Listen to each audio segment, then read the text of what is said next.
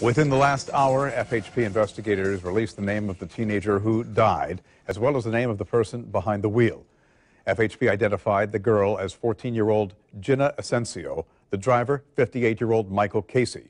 Crash happened just before 7 o'clock this morning on Eagle Harbor Parkway. Channel 4's Kamasi Aaron joins us now with the latest on the investigation. Kamasi.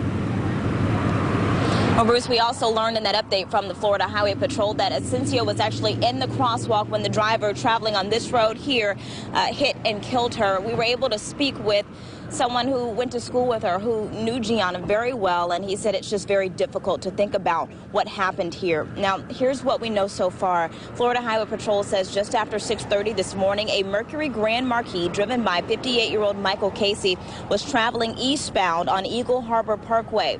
14-year-old Gianna Asencio was trying to cross at the crosswalk from north to south at Woodlake Drive when the car hit her and she died at the scene. Troopers say Asencio was on her way to her bus stop. She was was trying to cross between two cars. Right now, they don't believe speed was a factor, but charges are pending depending on how this investigation comes out. Authorities closed down Eagle Harbor Parkway and Woodlake Drive for several hours while they investigated here and the roads opened back up around 10.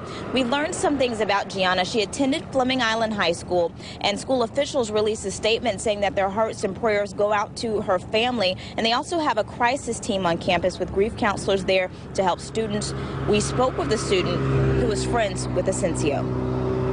It just felt horrible. Like she had so much to offer the world, like in life, in general. Like there's so much stuff she can do that would have helped like the world.